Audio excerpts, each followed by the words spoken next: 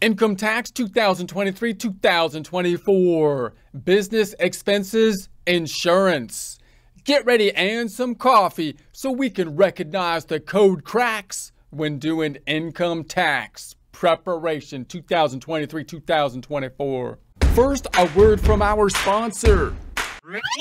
Yeah, actually, we're sponsoring ourselves on this one because apparently the merchandisers they don't want to be seen with us. But but that's okay, whatever.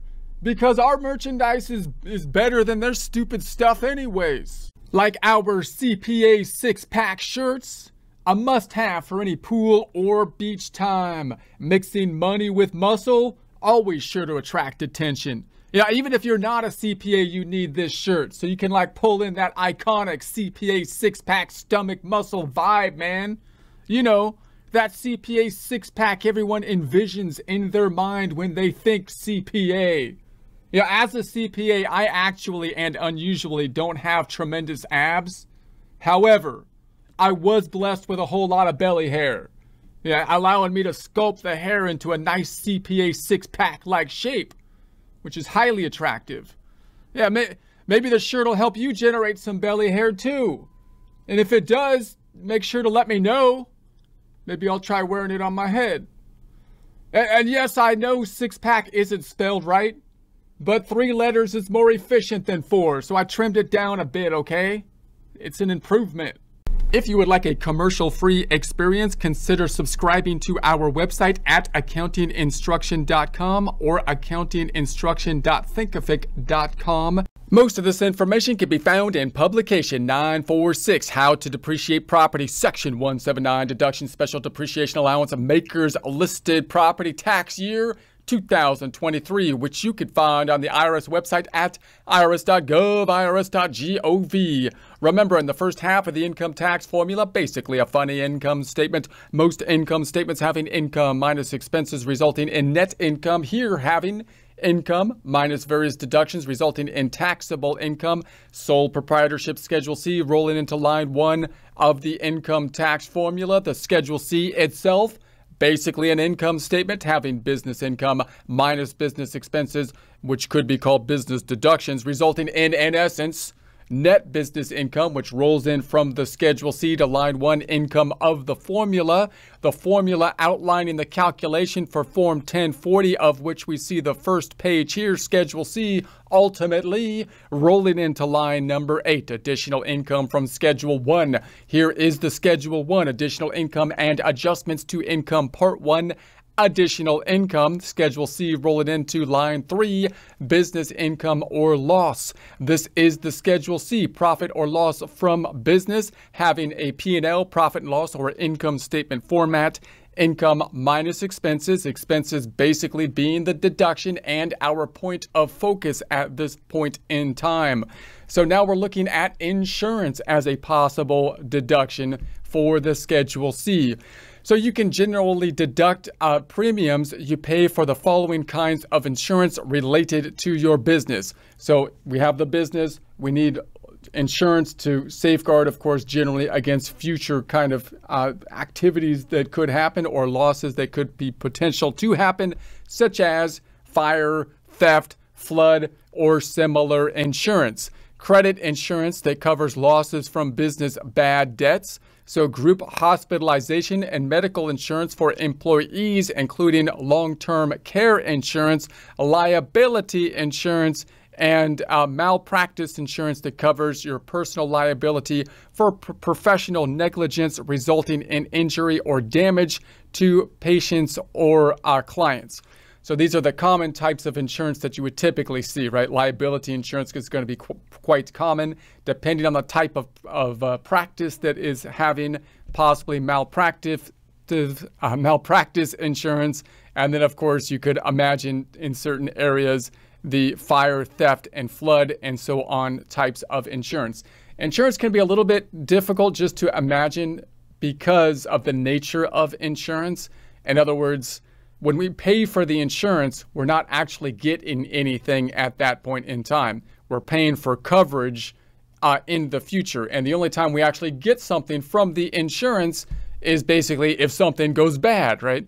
So, in other words, if we have liability insurance, we pay for the insurance, and then if there's a problem, then possibly the insurance pays us out for uh, the issue that happened. So then the question is, well, I'm not getting a benefit until I get the payout, would be one way to think about it. But that's not really true. We're getting a benefit of coverage. So we're reducing the, the level of risk that we have. And the other thing is that typically for insurance to work, we pay for the insurance before we actually uh, get the coverage. So most other things we pay at the same point in time or we pay afterward, such as the utility bill. We pay after we use the utilities and therefore we know exactly how much we used and we can and we can tie it out to at least approximately the same period of time. But with insurance, we pay for it before we get the coverage. That's just the nature of the product.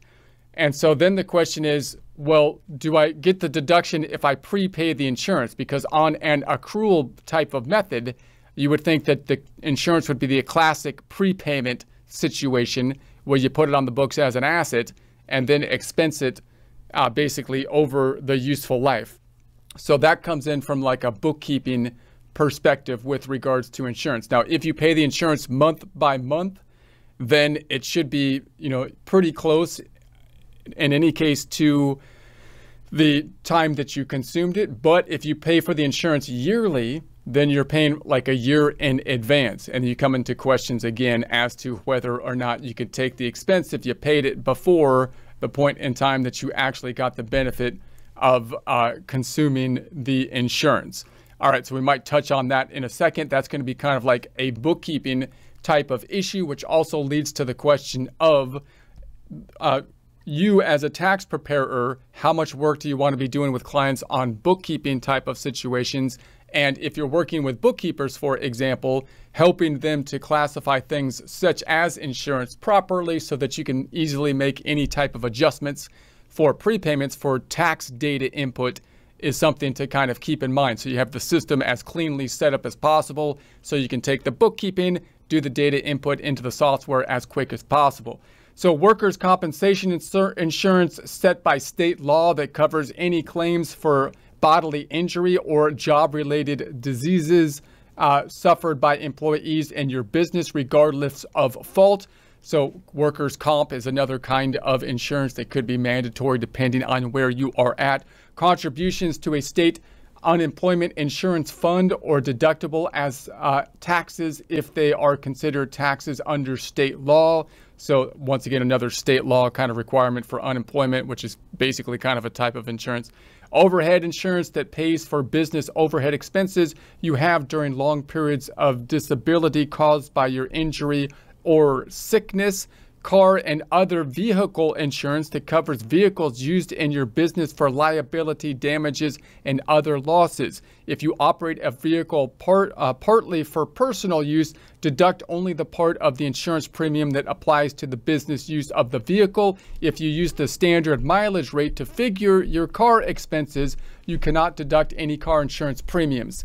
Now, car insurance becomes kind of an issue, and you can see this issue with uh, the bookkeeping side of things as well as the tax side of things. Because when you're trying to categorize car insurance, you could try to put it under the subcategory of car, or you could put it under the subcategory of insurance, right? Because you're paying insurance, but it's basically related to the vehicle.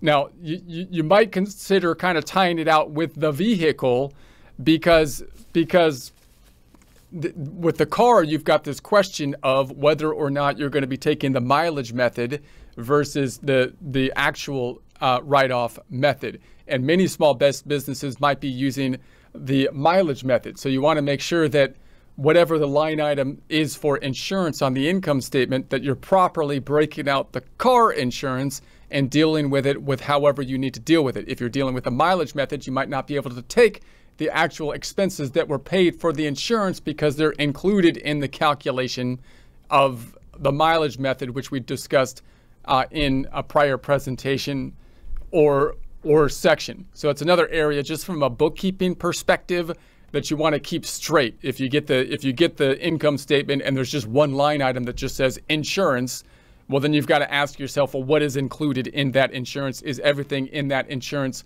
deductible? Things that you might have questions about would be the car insurance and possibly things like health insurance, uh, for example, could be questions about. Life insurance covering your employees if you are not directly or indirectly the beneficiary under the contract business interruption insurance that pays for lost profits if your business is shut down due to fire or other cause. Non deductible premiums. You cannot deduct premiums on the following kinds of insurance. Uh, self insurance reserve funds. You cannot deduct amounts credited to set up, uh, reserve set up your self insurance. So, a reserve fund, you might say, okay, what if I have a liability with regards to uh, someone suing me or something like that, you, your your ways to cover that would be one, you pay for insurance, meaning you pay for a premium upfront, and if someone sues you for a million dollars or something like that, possibly the insurance can help you to cover that potential liability. So that reduces your amount of liability. The other thing you could try to do is say, well, I'm just going to set up my own fund and I'm going to put it away and I'm not going to touch it because that's going to be the thing I will use and I'll basically self-insure myself that way. Now, you might that could be something worthwhile to do in certain cases because then you reduce the paperwork, you're more independent uh, in that case, although it can be more difficult to get enough funds to cover the insurance because the concept of insurance is that the likelihood of any particular event is pretty low. But if one of those large events hit you, then it could wipe you out pretty cleanly. That's the idea of insurance that if you pool all that stuff together, then then the insurance company is able to deal with those those uh, percentages and and pay out the these big catastrophic issues that happen. But because they're pretty rare over the whole pool of people, then then that's why the insurance that's why the insurance kind of gives value. So it could be difficult to self-insure is, is what I'm saying. So you want to have your backup funds uh, but but you but you also want to consider when insurance would be an, an, applicable tool. But you can't really deduct your own funds because again because the idea is you're not paying the insurance premium there, and you could tap into those funds at any time. So if the government just said, oh yeah, you could just you could just call your funds insurance, you know, and then get a deduction for it, it would be difficult to kind of regulate that kind of thing. So this applies even if you cannot get business insurance coverage for certain business risk. However, your actual losses may be deductible. So obviously, if you tried to self-insure and you, you, you, you put money away and you didn't touch it in the event that some crazy person sues you because you, you work in California and some crazy person's going to sue you sooner or later, right? And you're like, okay, I'm waiting. For, so then they actually sue you. Well, then, of course, if you have to pay the crazy person, you know, a million dollars because you know we're in California and it, it did something funny, and so then then then you might get the deduction, right? but of course, so that would be a normal that'd be like a loss, right, of a business loss possibly of some kind or an expense or something at that point. So for more information, uh, see publication 547. So loss of earnings. You cannot deduct pre- premiums for a policy that pays for your lost earnings due to sickness or disability. However, see item 8 in the previous list. Certain life insurance and annuities.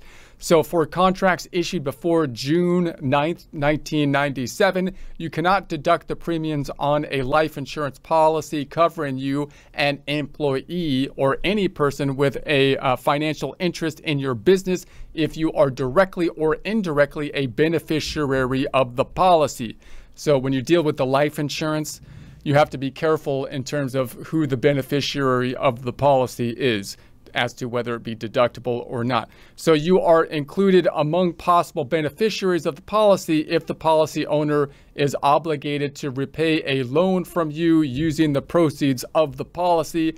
A person has a financial interest in your business if the person is an owner or part owner of the business or has lent money to the business. So you can see how things get kind of tied together here because obviously if you have a loan against the proceeds of the policy, then that's one way that people might try to manipulate things, you know, by pay, taking a loan against the policy, uh, or if there's has has has lent money, another loan kind of situation.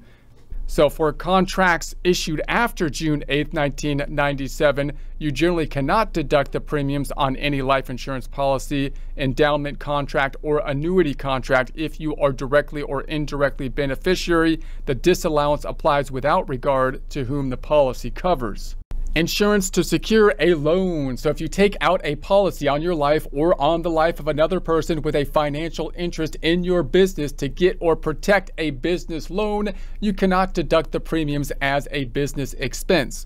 So you would think that this might be something that the IRS does not want to incentivize. In other words, a scenario where, for example, you're starting a business, you're trying to get a business loan, but the lender is saying, well, I think you can possibly repay the business loan if you stay alive, but you look a little sick or something like that. And you're like, well, don't worry. I'm going to take out a life insurance policy and I'll put you as the beneficiary. So if I die, then you will get the proceeds of that. That doesn't seem like you know, a great situation to be incentivizing. So you don't typically get the deduction of the premiums, and that kind of situation might be the rationale. So nor can you deduct the premiums as interest on business loans or as an expense of financing loans. So in the event of death, the proceeds of the policy are not taxed as income, even if they are used to liquidate the debt, which is typically often the case with insurance proceeds, remembering that Usually everything is basically income with regards to the IRS unless they say otherwise and insurance proceeds uh, upon death for life insurance are oftentimes possibly not included uh, inco income because the IRS says otherwise, says there could be an exception. Self-employed health insurance deduction. So you may be able to deduct the amount you paid for medical and dental insurance and qualified long-term care insurance for you and your family. Now, this is the one that often kind of gets messy, and that, that would be if I'm a sole proprietorship, then can I deduct basically my self employed health insurance? And the reason this kind of came up is because there's a parallel oftentimes to what is happening on a sole proprietor situation and what would happen in an employee employer situation. In other words, as a, a, corporation pays their employees, they often possibly could have benefits with regards to health insurance. Now, it used to be one of those benefits is just simply having a group plan because the group plan might lend itself to, to lower premiums because of the group nature of the plan. But also, the IRS might give uh, tax benefits uh, with regards to health insurance that was often tied to employment. So then the question is, well, if I'm self-employed, then I should get similar kind of tax benefits with regards to uh, the health insurance. So now you have to, when, when you're doing taxes for self-employed individuals, basically you have to ask the question, were they able to get insurance elsewhere? Uh, and if not, are they self-insured? If they're self-insured, uh, can we take the deduction for self-insurance, even though that doesn't really sound kind of like a business expense, sounds more like a personal uh, type of expense. But again, the rationale is kind of tied into this nature of what happens on an employee-employer situation in a corporation. So how to figure the deduction. Generally, you can use the worksheet in the instructions for Form 1040 to figure your deduction. However, if any of the following apply, you must use uh, Forms uh, 7206. So you have more than one source of income subject to self-employment tax. That's going to complicate things. So in other words, you don't just have the one Schedule C, you have two Schedule Cs or a couple things, possibly a K1 coming through subject to self-employment tax. You file Form 2555 related to foreign earned income. Foreign earned income often complicates things. So you are using amounts paid for qualified long-term care insurance to figure the deduction. So you can see Form 8962 and its separate instructions and use publication 974 if the insurance plan established or considered to be established under your business was obtained through the health insurance marketplace and you are claiming the premium tax credit. Now this becomes more of an issue because the you'll recall when back in what we would call like uh, we used to call it the Obamacare kind of situation. What they wanted to do is have kind of mandatory uh, health care and provide health care, uh, extend the ability of providing health care and, and that kind of thing. And parts of that went through and parts of it uh, didn't go through, but we had now have ended up with this situation where you have the health insurance marketplace, which typically is for lower income individuals generally, where uh, you might get a credit for part of the premiums of a high deductible insurance plan. So that credit calculation in and of itself is confusing because typically what happens is it's a prepayment in essence, but instead of them giving you the money up front, they're going to give you a reduction of the amount that you pay for insurance to try to force people, incentivize, and somewhat force people to buy uh, insurance because now you have this reduced price for the insurance at the point in time that you pay for the insurance. But the point, the problem is that you have to estimate how much the insurance premium will be based on the credit that you don't know how much will be until after the year is over. So, so the bottom line is, if I get a deduction then for insurance, uh, health insurance, then that's what I, I, you would think I would not get a deduction for the part of the insurance that was paid through the credit, paid basically by the government. So that's going to complicate the calculation for how much of the insurance is going to be deductible because part of your insurance premiums were basically paid by the government, would be the general idea. So prepayments. So you cannot deduct expenses in advance even if you pay them in advance. Now, this is the, the classic thing that the tax code does, right? They're going to say you can choose cash basis or accrual basis, but there are certain times when we're going to force you to be on an accrual basis and there are certain times that even if you choose to be on an accrual basis, we're going to force you to do a cash basis type of thing, such as with prepayments. Why? Because a prepayment is something, and insurance is the classic example, where you're saying, I'm going to pay for it uh, a year a year in advance, right? And I'm going to be paying for it today, right? And now, if I was on a cash-based system and I paid for it today, then I'm going to get the expense earlier than I than I otherwise would have gotten it. So you can imagine people abusing prepayments if they're on a cash-based system by manipulating when they pay uh, the the prepayments. Now with insurance, you're probably just doing it out of convenience. That's just how the policy works. You pay it annually, and it's a little bit cheaper to to pay it to pay it beforehand. But the IRS is going to say, no, if you if you have a prepayment, then we're skeptical of prepayments and you might have to do more of an accrual type of thing with regards to the prepayments. Now, if you're the recipient of the prepayment, then as we saw on the income side, they might do the reverse thing. You might be using an accrual system, but then you've, you've got paid in a prepayment before you actually did the work. So if you were the insurance company and you got paid in advance, then you would think the IRS is going to say, well, no, now we want you to go from an accrual system to a cash based system because you have the cash to pay us, and we would like you to recognize the income when you received uh, the payment. So this this falls into once again a bookkeeping situation. Whereas if you get the bookkeeping set up properly, the data input to the tax return should be uh, fairly easy. But you want to make sure whatever bookkeeping is set up is properly done. So this rule applies to any expense paid far enough in advance to, in effect, create an asset with a useful life extending substantially beyond the end of the current year. So in other words, if you're paying like the insurance on a month by month basis, you would think there would not be a substantial impact and therefore you, would probably be okay. But if there's going to be a, a, a material difference, Whereas uh, if you reported it on like an accrual basis method versus a cash based method, that's when you might have to deal with this uh, prepayment situation. So from a bookkeeping standpoint, you might ask your bookkeepers to instead of expensing the expenses, you, you have them put it on the books as an asset. So it'd be just as easy because if they're using bank feeds or whatever, they could just record the payment to an asset account and then possibly you at the end of the year can do a little bit of bookkeeping and say I'm gonna I'm going to now record the amount that has been consumed, you know, in the current year. Or the easy thing for them to do is just expense it, and then and then you can do the reverse kind of transaction and figure out whether or not you have to deal with a prepayment component, basically doing an adjusting or tax adjustment journal entry.